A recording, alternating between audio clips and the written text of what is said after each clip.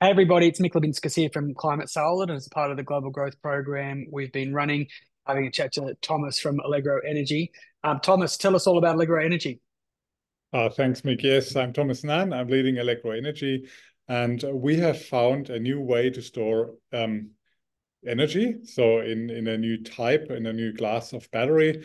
So our batteries are commercially much more viable than most of our competing products um, but they're also very easy to scale in terms of size and duration.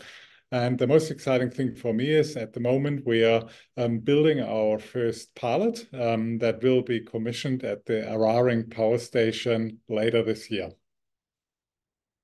Oh, fantastic, mate. That's really great progress. Exciting to see and looking forward to a big year. Thanks very much. Thank you.